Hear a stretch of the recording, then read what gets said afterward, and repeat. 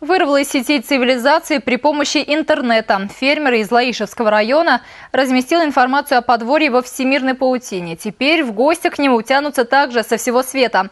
В хозяйстве на берегу Камы предлагают и корову подоить, и овец постричь, и, конечно, оседлать коня. Екатерина Белалова оценила современный сельский сервис.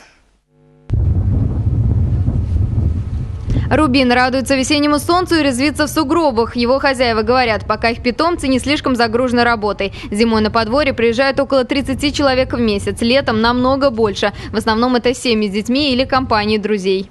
Самое популярное развлечение для приезжих – это, конечно же, лошади. Есть здесь и скаковые, и спортивные, и рабочие. Например, это тяжеловоз. Научиться кататься на коне могут даже новичка.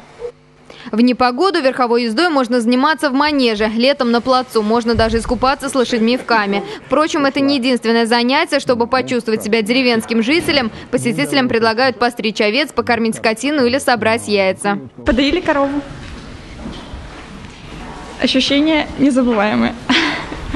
Дамир и Ксения приехали из Кировской области. О Шуранском подворье прочитали в интернете. Молодые люди намерены не просто отдохнуть, но и узнать, как построить деревню для туристов.